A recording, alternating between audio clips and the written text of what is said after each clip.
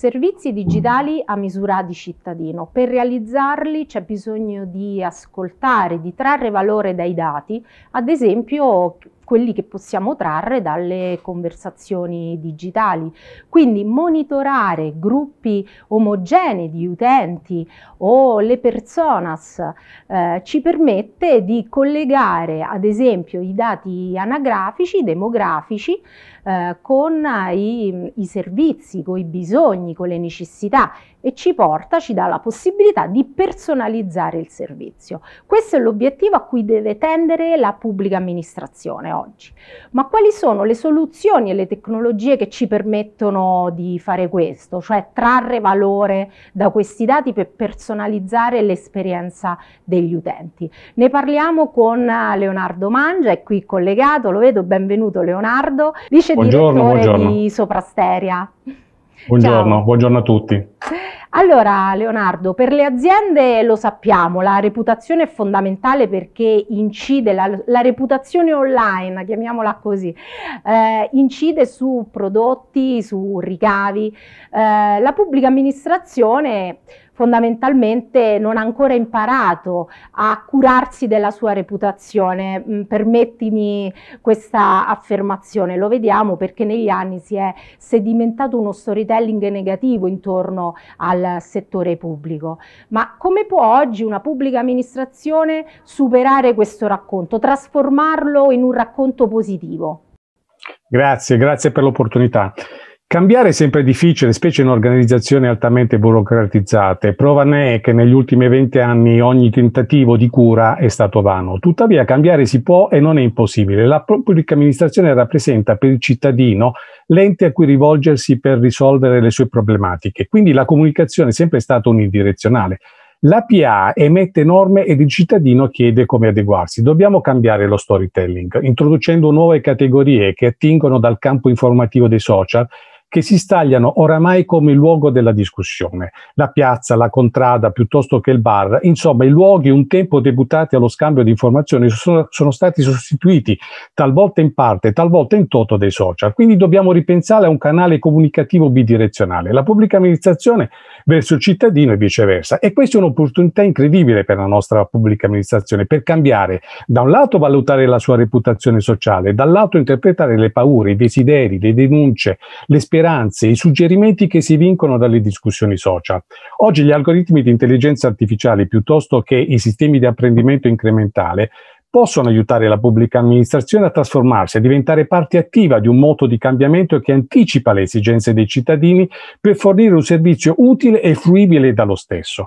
Essere vicino al cittadino significa oggi anticipare le sue esigenze ed al contempo porre attenzione alla reputazione dell'ufficio che eroga un servizio pubblico. Il punto di svolta è nell'ingaggio del cittadino. È su questo che si gioca il cambiamento. Anticipare di servizi, evitando l'intasamento del call center, Twitter per la denuncia ex post, quindi per una PA ex ante. Se si riuscisse a costruire dei KPI eh, relativi al monitoraggio della reputazione, ovviamente fornendo alla stessa PA i mezzi per calcolarle, sicuramente un primo passo disruptive verso il cambiamento.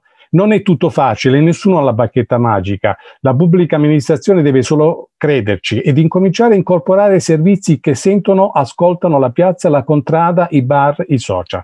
La Media Data Room di Soprasteria è pronta per la transizione sociale della nostra pubblica amministrazione. Penso che il momento pandemico e il PNRR abbiano inciso fortemente sul ripensamento della PA e che si possa lavorare tutti insieme per una ripartenza V della stessa. Allora Leonardo, eh, ti ringrazio. Tu hai fatto riferimento proprio ai social, alle conversazioni che nascono su, su, queste piattaforme. Ma come possiamo, io inizialmente visto parlavo di valore, di dati, cioè concretamente però, come possiamo estrarre valore da queste conversazioni che diciamocelo spesso ci vengono restituite in maniera molto confusa? Certo, alla confusione dobbiamo aggiungere anche l'incertezza sui dati. Oggi la ricerca informatica ci aiuta con algoritmi intelligenti e di apprendimento incrementale a individuare i segnali forti e soprattutto quelli deboli che si estrinsecano dalle discussioni in rete. I segnali deboli sono i primi segni, i segni delle questioni emergenti.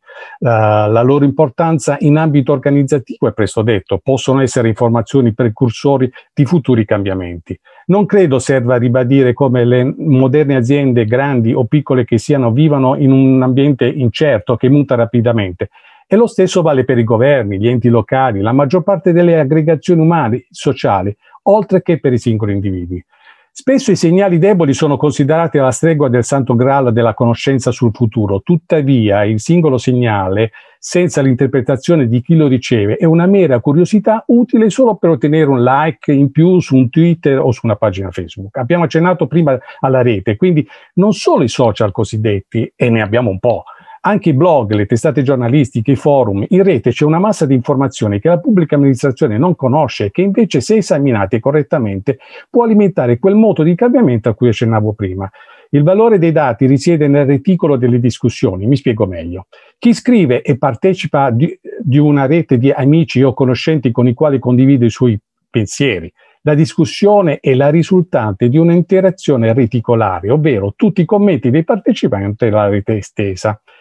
Quindi i sistemi intelligenti interpretano, o meglio raccolgono le discussioni che si dipanano in maniera reticolare e estraggono l'evidenza, ovvero i segnali forti. Per esempio, l'autobus eh, numero 5 fermo per guasto e siamo in attesa sotto il sole del prossimo, che di servizio. Oppure de- quelli deboli che si interpretano attraverso pochi messaggi per lo più iconici, GIF piuttosto che emoticon o anche like, sono in grado di evidenziare l'informazione o anche gli alert relativi a una prestazione di un ufficio territoriale o anche di un servizio di trasporto e così via. Capire in anticipo per ingaggiare il cittadino e rassicurarlo che tutto sarà ripristinato è un viatico per migliorare la propria reputazione. Di più, interpretare le informazioni significa anche avere la capacità di modificare i propri servizi per migliorarli o anche per introdurne di nuovi.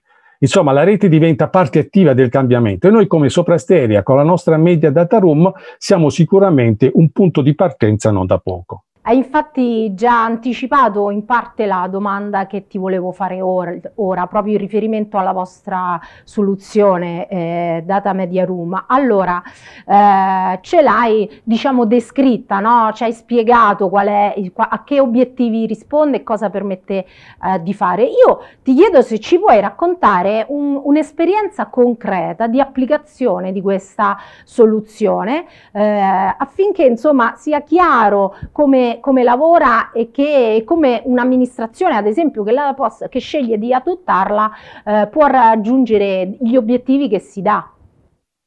Sì, certo.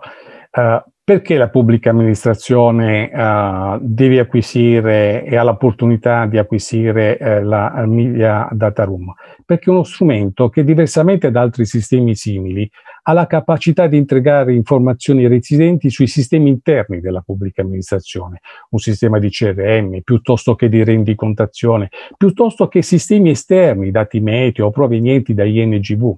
Gli obiettivi della Media Data Room di Soprasteria sono capire da un lato dove avvengono le conversazioni che ci interessa ascoltare e raggiungere, comprendere dall'altro le discussioni internet uh, inerenti al, al, al, brand, capire la percezione di un fenomeno critico e di eventi di interesse, misurare l'impatto delle iniziative di marketing e delle relazioni pubbliche ma anche e infine comprendere come migliorare il servizio clienti e le performance aziendali, perché anche la pubblica amministrazione deve seguire un, un diktat relativamente alle performance aziendali. Faccio due esempi semplici, uno su scala nazionale e l'altro locale. Un nostro cliente pubblico che si occupa di servizi di trasporto su scala nazionale usa la Media Data Room per indirizzare la comunicazione, non solo relativamente eh, al brand, ma anche ai servizi e, e alle personalità che in gergo gergo tecnico vengono chiamate per personas. L'ha usata per esempio per rispondere a una campagna di migratoria dei servizi attivata da un suo competitor che aveva la pretesa di raccogliere il sentiment social con dati incerti e non completi e la Media Data Room invece ha raccolto tutti i dati e ha fornito le spiegazioni attraverso i, i, media, i, uh, i media nazionali, quindi giornali, blog, eccetera. Un altro nostro cliente pubblico di trasporto locale invece ha finalmente capito perché i suoi servizi di vendita, ticket, eh, siano, sia sul portale sia attraverso l'app mobile non erano fruiti e, e quindi non rappresentavano un altro canale di ricavi. L'analisi delle discussioni su Facebook e su, e su, Twitter, in primis, su questi due social, integrati con i loro dati del CRM, ha consentito di apportare quelle modifiche tecniche utili affinché i servizi fossero utilizzati al meglio dei cittadini.